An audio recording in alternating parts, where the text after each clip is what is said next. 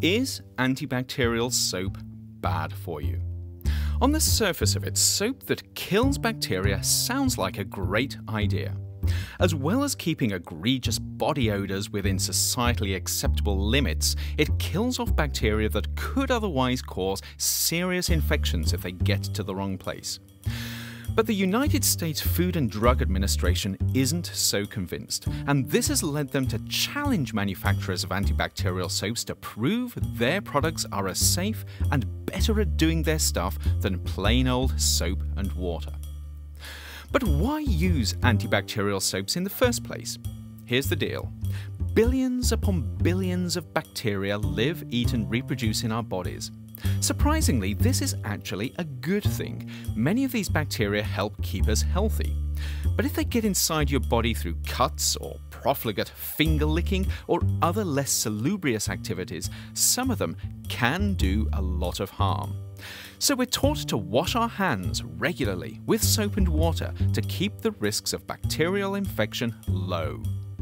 It was probably a no-brainer then to make super soaps when antibacterial agents like triclosan came along, enabling them to kill off more bugs and reduce the chances of infection still further. Triclosan has been in use since the late 1960s to prevent hospital infections, and it's been used widely in personal care products for over 30 years. So why is FDA taking action now? FDA requires chemicals like triclosan to be safe and effective to pass muster. In their eyes, it's not enough for an antibacterial soap just to be safe. It's also got to do a better job than the alternative, which in this case is regular soap and water.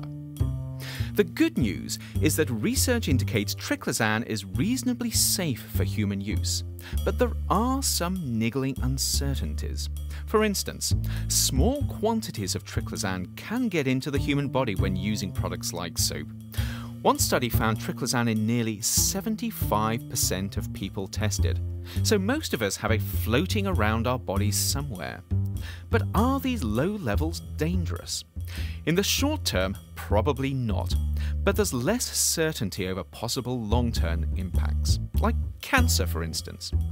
Triclosan looks like it doesn't actually cause cancer when the stuff gets inside your body, but there are some slight concerns that it might not be good for the skin over long periods of use. Once out in the environment, triclosan isn't good for some organisms and it tends to hang around for a while. And when it does degrade, it can be transformed into more dangerous chemicals. Although whether this is an issue, no one knows for sure yet. Then there are worries over overuse leading to antibacterial resistant microbes. There's not a whole lot of evidence to support this, but there are some indicators that it could be a possible problem. And finally, triclosan can behave like a human hormone. This doesn't necessarily mean that it's harmful. Just because something shows hormone like behavior doesn't mean it belongs on the blacklist.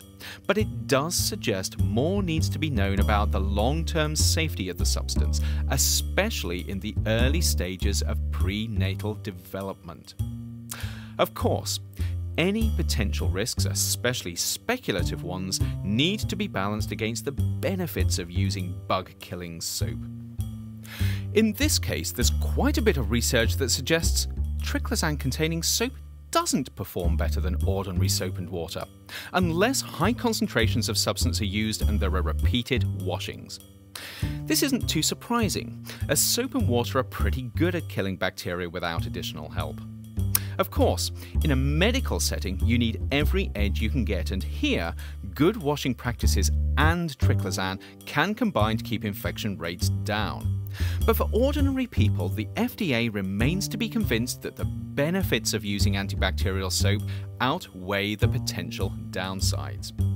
Which is why they are proposing to ask manufacturers for more evidence before giving their products the green light. In the meantime, there is absolutely nothing to stop you as a consumer using these soaps. Or not.